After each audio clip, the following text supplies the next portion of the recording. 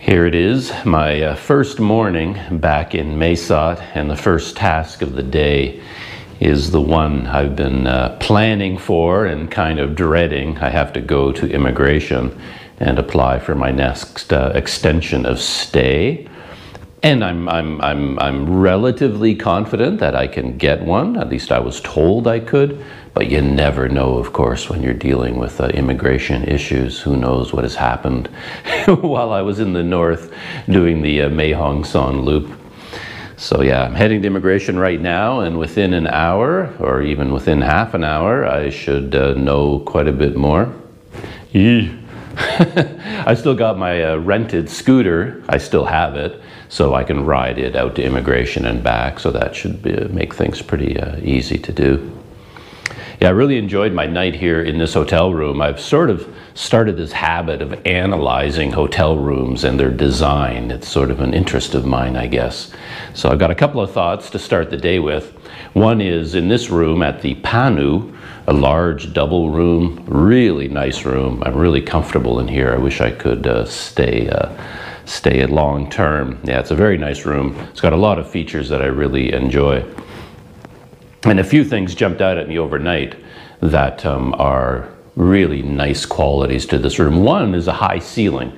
You may not notice that when you first come into a hotel, but it kind of hits you over time. It's like, man, I really feel good in this space, and why is it? And then you notice, oh, it's got like a 10 foot ceiling.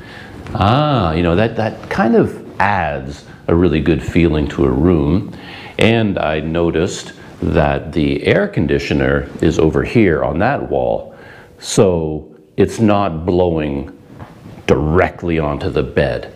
And that's something you see in so many places. The air conditioner will be right above the bed or it will be on the wall opposite the bed and it's just blowing cold air right on the bed. And that's not a very good thing. So when you see an air conditioner on a separate wall blowing away from the bed, that is really, really nice. And same thing with the bathroom.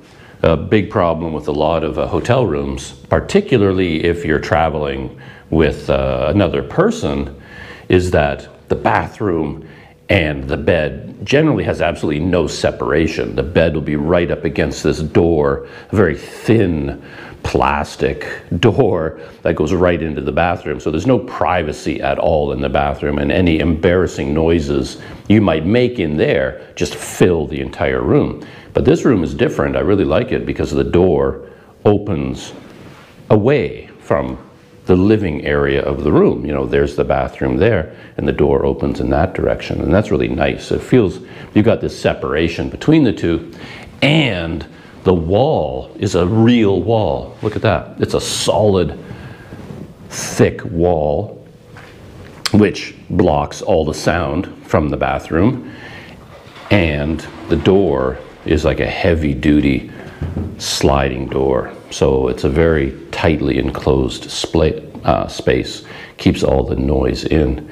And it's not just embarrassing noises, it's just noises you would make. You might want to wake up early, take a shower, and, and, and get ready for the day when, you know, your partner, whoever that might be, still trying to sleep. And in a lot of rooms, that's not possible because the bathroom is like right on top of the bed. But here it's uh, nicely uh, separated. And there's some more solid structures in here, which I really appreciate. So many of these rooms just have like a plastic shelf that they've screwed into the wall and they're always tilted. Everything falls off, the water, you know, collects on them. But this hotel seems to be an older structure, an older design. And here the mirror is embedded into a little alcove, which gives it a flat and solid counter on which you can put things. And I, I, I really like that it just uh, yeah, it's a really nice, uh, really nice design. I pointed out when I moved in that I really like having the light above the bed with a light switch within easy reach from the bed. The one downside of this one was a there was only one light bulb, this little yellow one here you see that it throws almost no light at all. But I travel with my own light bulb, and that's it over there on the right. And uh, so I screwed that in, and now it just blasts a lot of bright light over the bed, and it really makes it very comfortable and cheerful in here.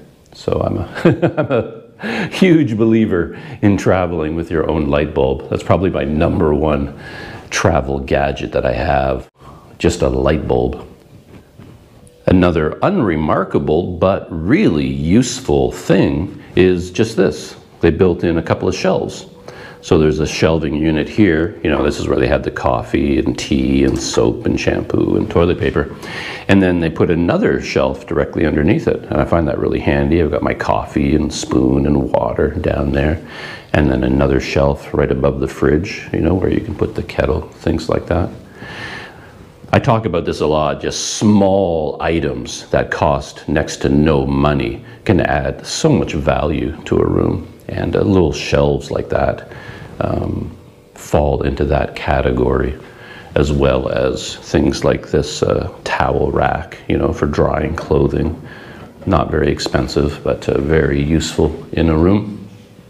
And of course, my fabulous end tables, one there, and of course, right there. I always pull it away from the wall so it's an easy reach with my right hand. And I've got my cup of coffee, my uh, Tim Hortons mug, sitting right there. So I've been sitting there all morning with my laptop on my lap.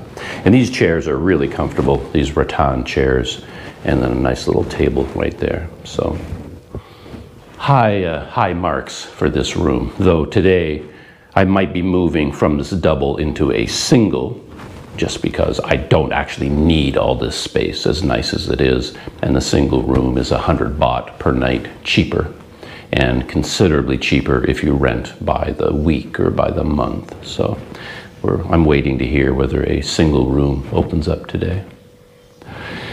Anyway, I'm, uh, I'm procrastinating. I think I'm just too nervous. I don't want to go to immigration, but I'm all ready to go.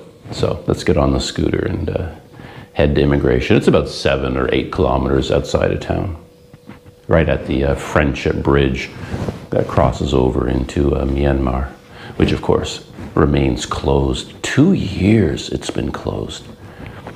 I, st- I, I, I, I, still have trouble believing that it's been so long since uh, COVID changed the entire world. Anyway, don't want to talk about that. Let's go to immigration. That's my room there. I don't even know the room number actually. Uh, 3101 is my room. These are all the double rooms on the left, and I think uh, on the right, those are the uh, single rooms. I find it hard to believe that all the rooms are full, like that all the single rooms would be occupied. I think they have a bunch on the second floor too, but maybe they're not actually open. Maybe they only have the three on the ground floor. It's a nice place in a way, well in many ways. It's set way back from the road with down this long narrow uh, entryway. So it's very, a lot of security I guess.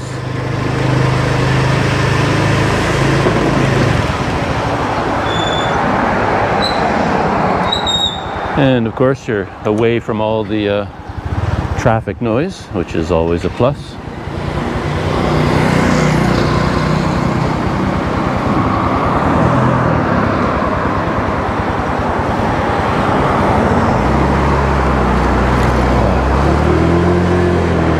I can really feel the temperature difference down here in Mae Sot compared to where I just came from. Places like uh, Mae Hong Son, even Mae Sarang, Mae Sariang, and Pai. I guess those places are considerably higher and therefore uh, much colder than down here. So uh, yeah, right now it's a little bit chilly, and most people would be wearing a jacket, I think, but I'm just wearing a shirt, my immigration shirt.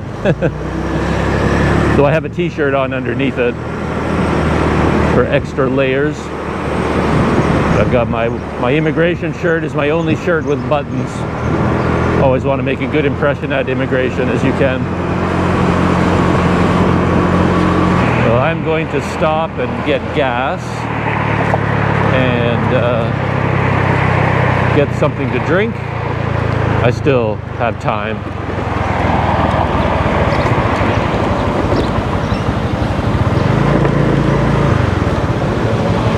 Okay.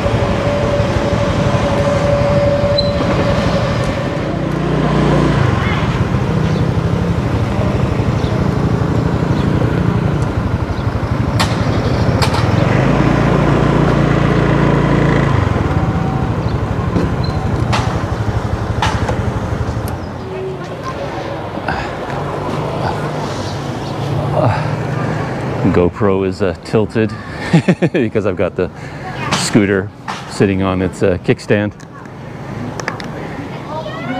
Yeah, I just stopped to uh, fill up with gas. I figured out on this trip that it costs, I think, 80 baht per 100 kilometers for gas. So you can, I can sort of calculate how many kilometers I'm going to go. Every 80 baht, I get 100 kilometers. I think, I think I figured that out. And I got some milk.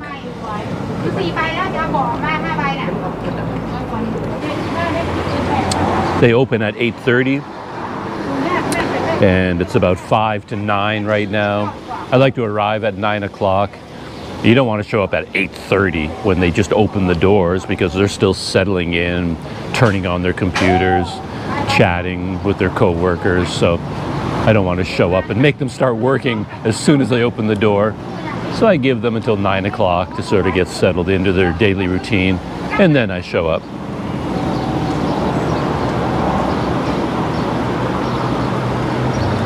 And as I mentioned several times, my current extension of stay expires today. So I have one shot at it. so it's kind of an important, uh, important day.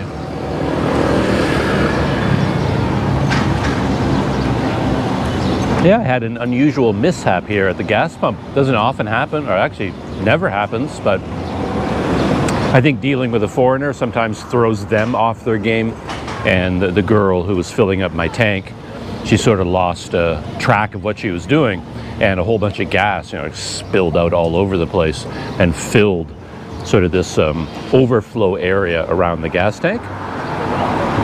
And she took my money and then she wasn't going to do anything about it. And there's all this, you know, gas sloshing around in there. And I thought, uh, yeah, I don't know. Uh, I, don't, I don't like that. So I did indicate to her with sign language, like, do you have some kind of a rag here? We can soak this gas up a little bit. And she went and got a rag and uh, cleaned it up for me. So that was nice. But yeah, that doesn't usually happen.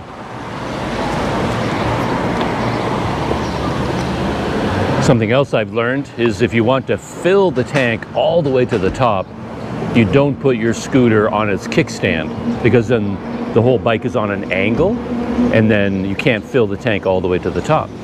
So what I do now, if I want the maximum amount of gas I can get, then I put the scooter on a double kickstand, so it's sitting perfectly straight up and down, and then you can fill the tank all the way to the top.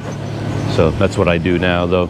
I haven't mastered the technique of pulling the scooter back onto its double kickstand it's awkward. And I figure there must be a way to do it that's easier because I find it really hard to do. I'm doing something wrong, I have to work on my technique.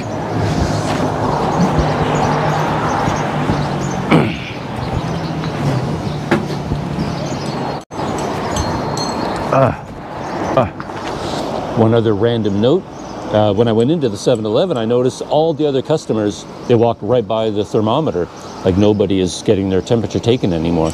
I do it automatically because it's, it's habit now, but I noticed a lot of people are just ignoring it now. Just kind of interesting.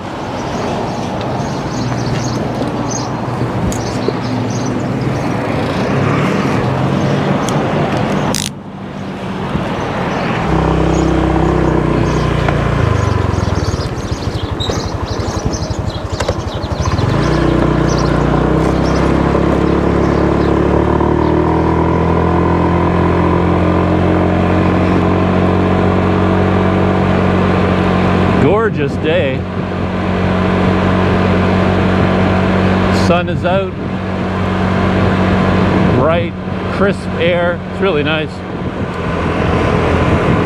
So this is it on my right. That's the entrance to the uh, Friendship Bridge.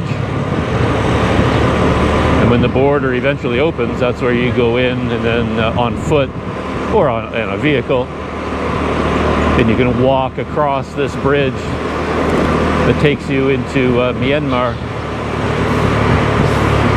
Every time I come here, I'm just astonished again to see that empty bridge. So here's immigration on my left. And here's the entrance. And there you go. See that sign right there? Motorcycle parking for visitor. It's amazing. You can just park right in here.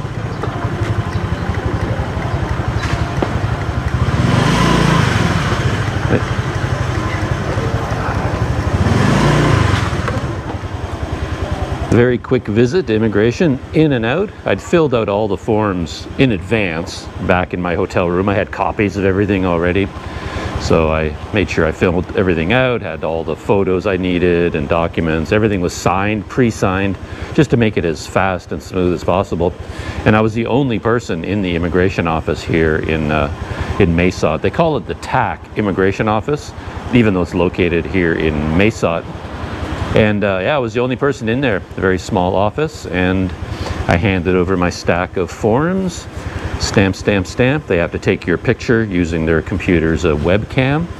And uh, yeah, they accepted my application. I think today is the last day you can apply for the next 60-day extension of stay and uh, they're they're used to me here. They they recognize me on site with my shirt, my immigration shirt when I walk through the door. You know, so that they know who I am. And uh, yeah, 1,900 baht for a 60-day extension of stay. The one wrinkle in the whole system is that it's a two-stage process. So I handed in my application today, and technically it's not approved yet. I have to come back in two weeks to find out whether it has been approved and then I will get the stamp in my passport that will allow me to stay in Thailand for 60 days. But of course, it'll be 60 days minus the 14 that have already passed. So the 60 days start from when my last visa expires, which is today. So yeah, you have to wait two weeks basically for the process to uh, unfold. But yeah, you just have to plan around that. But we can drive out of the, uh, or I should say ride out of the uh, parking area.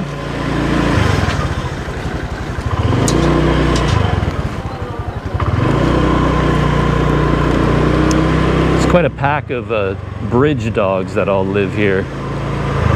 There's a real uh, group of them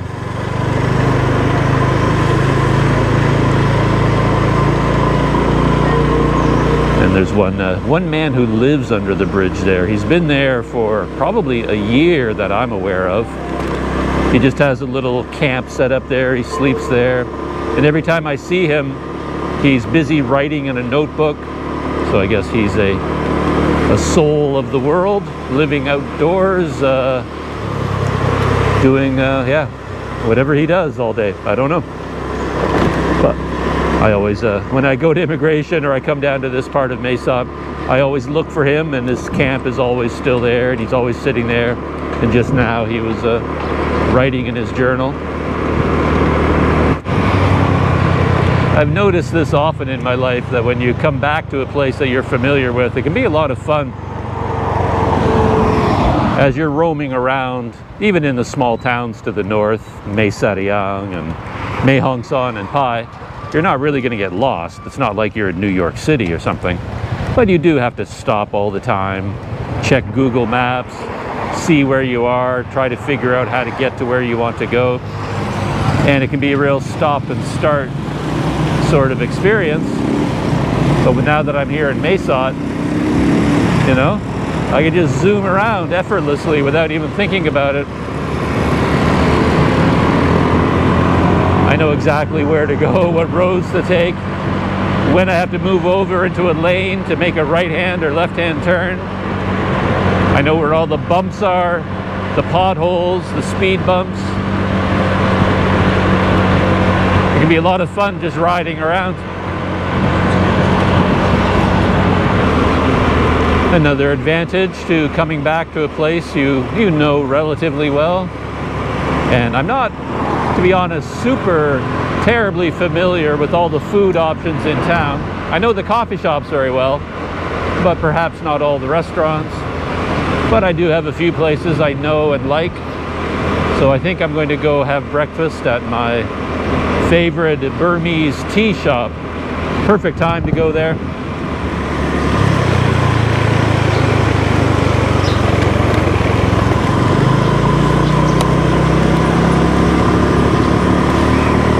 Can be a fun ride down to the Burmese uh, tea shop. So I thought I'd uh, run the GoPro while I go there. I think I remember how to get there. I haven't been gone from Mae Sot in a long, for very long, really. Been less than two months, and yet it really does feel like a brand new place to me. I'm seeing it with uh, with fresh eyes.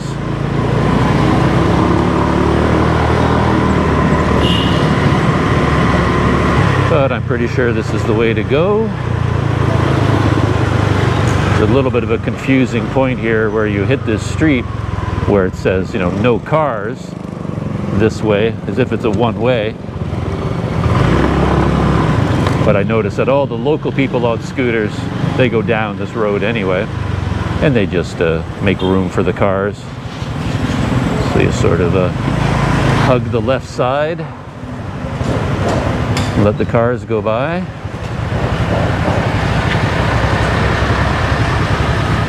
It's pretty busy uh, market area.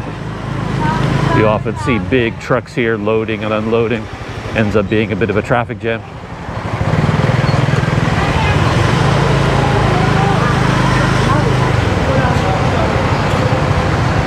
Not usually this busy though. I don't know where all this uh, traffic is coming from.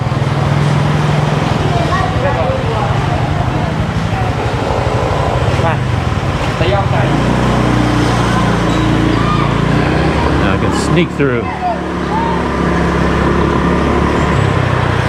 The big uh, produce market is uh, to the right here, and the tea shop is to the left.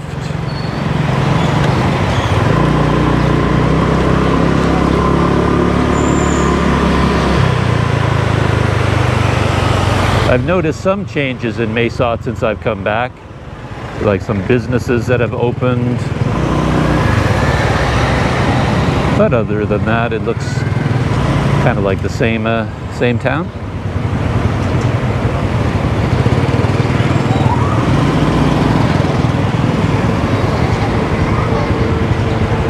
Ah, what is going on? It's a busy city today. I see a lot of motorcycles parked outside of the tea shop.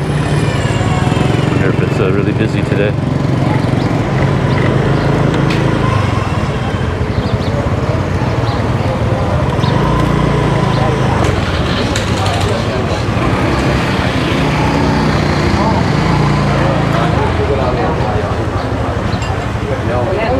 Hello, how are you? Good, how you doing? Not bad. Oh.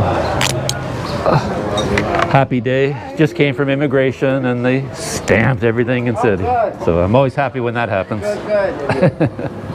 Thought I'd celebrate at the uh, at the tea shop. Go.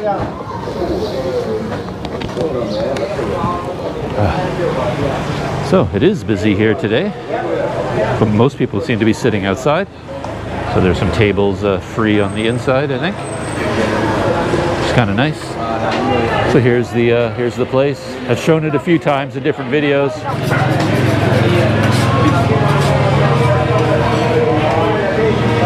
And uh,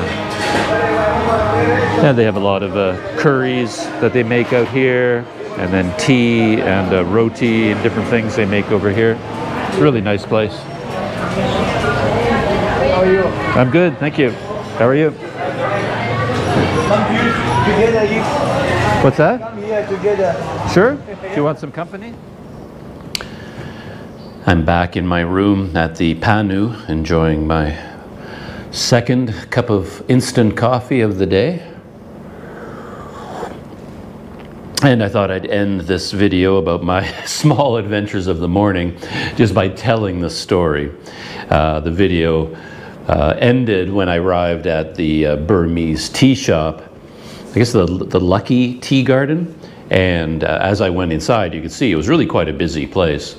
And there were some foreigners sitting outside. I, I didn't, I had met those people before, but uh, I was in a really good mood coming from in, immigration with uh, successful in my uh, you know extension of stay application you know so I was chatting with them a little bit told them uh, about the good news and uh, how I'd come there to celebrate with a meal at the, the uh, tea shop And then when I went inside, I was looking for a table, and I walked past uh, one table, and a man sitting there, you know, made eye contact, and he said hello, and we chatted for a second, and then he invited me to sit down and join him. He was eating alone, and he thought, hey, you know, why don't you, you know, join me at my table? So I said, sure, and I sat down, and it was kind of a whole. Um, frantic setting. There was music playing. There was lots of people. There's lots of going on, and and I didn't want to record this guy, you know, without his permission or anything. So I just turned off the GoPro. And the way things turned out, I, I never turned it back on for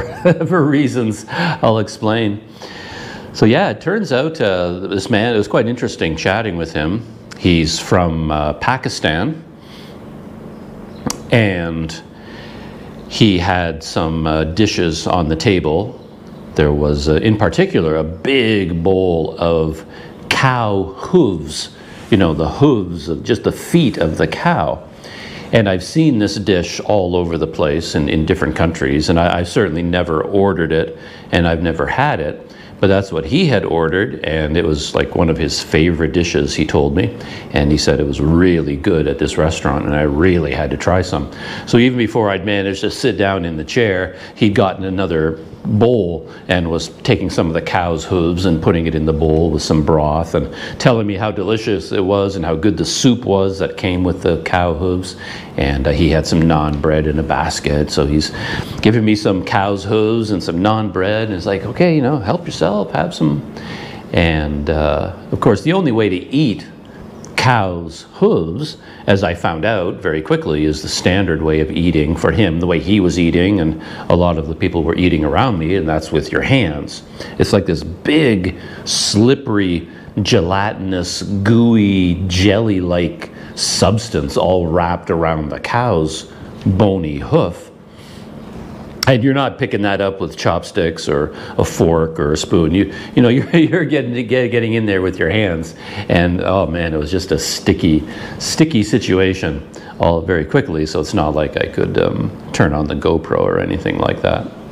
So I'm, I'm, trying to have this a cow's hooves, and that was a new experience. I'd never had that before. It was really like slurping it up. There was no meat to bite into. You just basically pick up this big hunk of cow's hoof, and then you're sort of slurping all this fatty tissue from all around the hoof.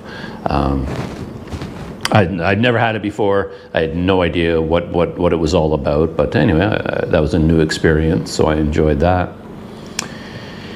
And as often happens, and I always feel bad about this, this man asked me about going to Canada. He, you know, he said, "Where are you from?" I said, "Canada," and he says, "Well, it was actually his dream was to go to Canada, and he thought it was quite lucky to meet someone from Canada, and I would be able to give him all the ins and outs and details of how you do that.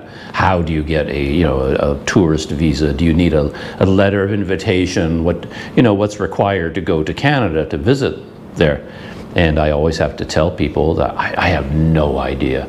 I haven't the foggiest. Um, I have no inside information. I have no experience in terms of people getting visas, whether you know student visa or work visa or tourist visa, to go to Canada. I I have the sense that it's complicated and difficult and expensive for someone from Pakistan to go to Canada, even you know as a tourist I'm pretty sure there are a lot of hoops to jump through. It's not as easy as me going to Pakistan. Uh, that I'm pretty sure of, but even that I don't know. I mean, I don't have any experience, but I basically had to tell him, I, I, really don't know. I mean, I don't know any more than he does. He probably knows more than I do because he's probably dealt with people in his life who have gone to other countries on a, you know, Pakistan uh, passport. And, uh, all I could say was, I mean, you, you just have to go to the Canadian Embassy and ask them, you know, I want to go to Canada and what do you need? And then go from there. Beyond that, I, I had nothing, no, no information to offer him, which is too bad. But then I told him that, but then as we talked, he kept bringing the conversation back around to that topic and would ask me again. I guess my my, you know, whatever I was saying wasn't really getting through, and I had to repeat it many times. That I, I honestly, I have no idea. I don't know anything about it. And then things got a little bit more complicated because then he told me later on that his father lives in Canada. And uh, so again, I was thinking, well, there you go. You know, there's the guy to ask on the ground family member living in Canada. And apparently he'd been living there for decades. So I didn't understand why he couldn't get information through his father. But it was a very interesting conversation. And I, I ran into something I've run into in the past. I shouldn't say run into. I, I, I benefited from something I've uh, come across before, and that is the overwhelming sense of hospitality in Pakistan. Because he had invited me to sit down at his table, so that put him in the position of the host me in the, as the guest in his mind, and he's offered me all the food that he had ordered. And while I was there, of course, I got the menu and I ordered uh, potato curry, all my favorite dishes: potato curry, chickpeas, you know, a cup of tea, and um, roti, and all of that was coming. And uh, and then it was time for him to, to go. He had to go start his day, and he summoned over the uh, the waitress and just indicated, you know, everything on his bill, and he paid for my breakfast. And uh, yeah, that, that happens a lot when you're uh, when you're having a meal with someone from uh, Pakistan. It's very hard to uh, to uh, pay for their meal. I mean, they have such a strong sense of hospitality in Pakistan that uh, chances are they will try and usually succeed in paying for your meal. It's very hard to do the same for them. But uh, yeah, that was a very interesting uh, conversation to have with him. And he told me that he lives here and he works here and he sells cars, is what he told me. And I, am very interested in that. Not that I want to sell cars, what I mean is I'm interested in what other people do just in general. To me, that sounds so fantastical. Um, I, I couldn't even understand selling cars in Canada as a Canadian. It's like, how do you sell cars? What does that involve? That's like another world for me. And here we have this man from Pakistan, and he's in Thailand, and he tells me his job is selling cars. And I want to know, okay, like, how does that work? How do you do that? So I started asking him questions, hoping to get some sort of a mental image of what he's doing here in, in Mae Sot. He's based in Mae Sot, he told me, and selling cars. And, uh, but no matter how many questions I asked, I could not get it straight in my head. I have no idea what selling cars in Thailand means. Like, does he have a car lot? How, as a man from Pakistan, do you have a car lot in Thailand? Um, is he importing cars from Pakistan into Thailand? And he said, no, they're, he's mainly selling Japanese cars. I was like, well, how do you do that? I mean, how does anyone do that? I mean, the whole world of business is a complete mystery to me. But I, I couldn't really figure it out from his answers. You know, I'd probably have to spend a month with him, going about with him as a shadow in his life before it would finally dawn on me. It's like, oh, that's what you mean. That's how this works. This is what you're doing, you know. Um, but yeah, I couldn't really figure it out from chatting with him. Oh man, I'm feeling kind of exhausted just from that. I mean, that's already quite a morning for me going to immigration. Good news there. And then I had a nice meal at the uh, tea garden so that was, uh, yeah, it was a very, uh, very interesting morning. so that's it for the small adventures of today, a little update video. Continuing in the tradition of tell, don't show. You know, I'm not showing anything in the video. I'm just having these small experiences and then I'm telling about them on uh, video, which is not what you're supposed to do. But uh, that's what I've been doing lately. The good news is that my back is getting better very, very quickly. Another good mattress here, quite a firm one. I had a you know a pretty good night um, resting my back, and after wrenching it in Pai, actually, no, yeah, it was in Pai that it happened, and after my uh, four days on the uh, scooter, you know, I guess three full days with a really uh, painful back. It's slowly, it's getting better and better. So I'm uh, I'm well on the road to recovery, so I can even sit here in relative comfort in a chair, which is nice. When it first happened, when I first wrenched my back, I couldn't sit in a chair like this because once I leaned back, I would be I would have been unable to move forward. I couldn't I wouldn't have been able to do it. You know, I'd have to have a rope to pull myself because I couldn't uh, tense up my back muscles. But no permanent damage was done. I'm, I'm slowly uh, getting better. yeah, whew. and with that, I'll see you in the next video.